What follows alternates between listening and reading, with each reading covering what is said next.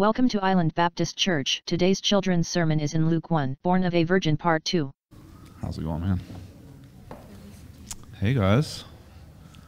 Welcome. Do y'all know what this is? Stereo. Stereo. You don't know the name for this? If you were from the 80s, what is this called? A boom box. Yo. Not, there's not much boom in that one, I don't think. Not, a, not really, no. There's not, but there's only one of these, right? How many do I have? You only see one, right? There's not not another one, right? You only see one because there is only one because I brought only one, right? So I want you to notice though, this thing does some has some really cool features. It's got first of all, see this over here? See that over there? See this little thing? Watch it turn. See it move? Isn't that cool?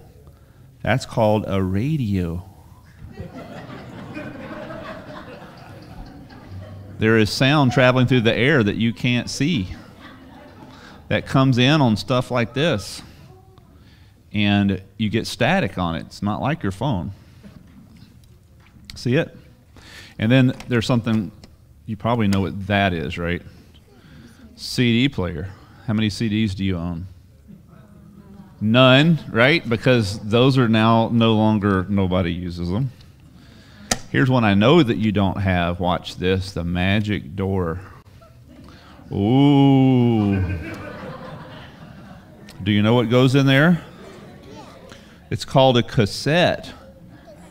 Ask your, not even your parents, maybe your grandmother will know, she'll certainly know what a cassette is.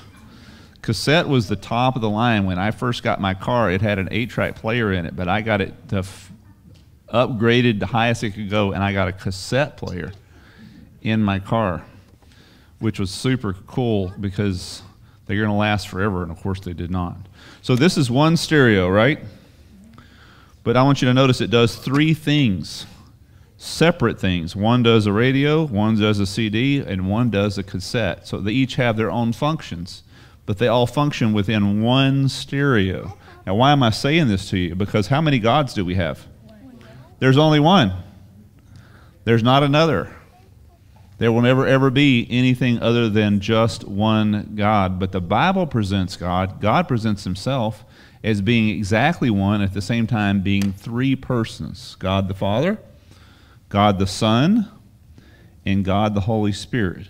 Now, a boombox can't fully explain that but it does give you sort of a visual of how it could work. So God is only one, just like there's only one stereo, and yet He has three functions within Himself. Three, not separate. They all work together. They all serve and and um, and um, improve or or uh, I can't think of the word. I thought to say adjective. They're like an adjective toward each other. They give they give each other. Uh, descriptives, and uh, what can be said true about one is true about the others, even though cassette and stereo and and CD are separate things, and yet are they separate? No, they're all from one thing. Likewise, God is not separate from Himself. God the Father, God the Son, God the Holy Spirit. There are three persons, but they are not separate. They're one God.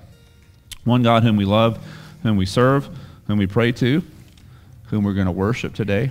Don't need to split our allegiances with anybody else, no other God, because there is only one.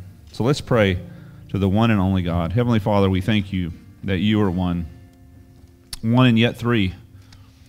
And so we praise you, Father, and we praise you, Son, and we praise you, Holy Spirit, for the presence, your presence here, that you're working among us. Reveal yourself to us, Lord. The things that we can't understand and can't fully explain, help us to accept, God, because you are God and you are not like us. And um, your thoughts are above our thoughts infinitely, and your ways are above our ways infinitely so. Bless our time, God, as we worship and lift you up in Jesus' name. Amen.